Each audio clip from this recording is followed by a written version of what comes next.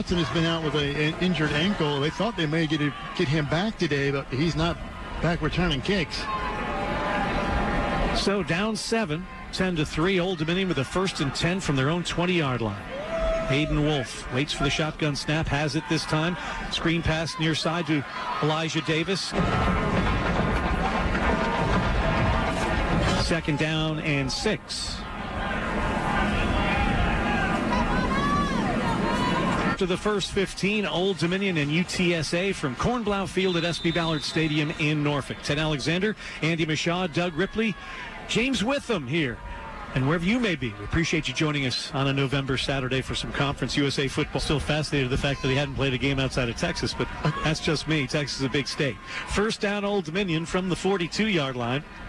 10 10. Also, half the western part of this conference is in Texas, so. Makes sense. Bring Hendrick in motion, play action pass. Hayden Wolff steps up another throw. Chris Cunningham back in the game for the first time in a couple of weeks. The grad transfer from Virginia Tech the near side tight end position. Busted his hand halfway through quarter number two. 17-10 Old Dominion. A first down for the Monarchs in all black here on Military Appreciation Day.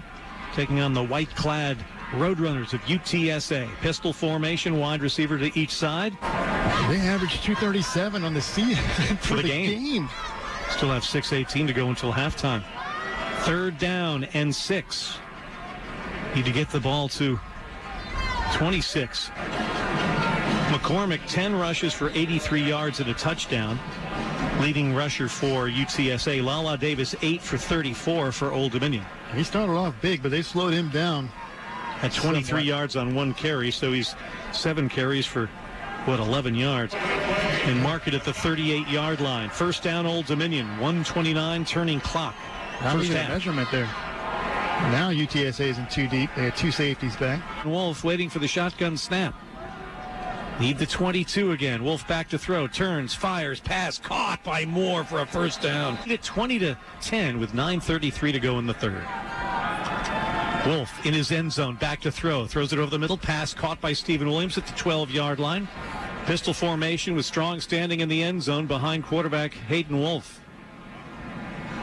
Weaver snaps the ball to Wolff. He throws near side to Williams, makes the catch at the 12 yard line, and he spins to maybe the 14.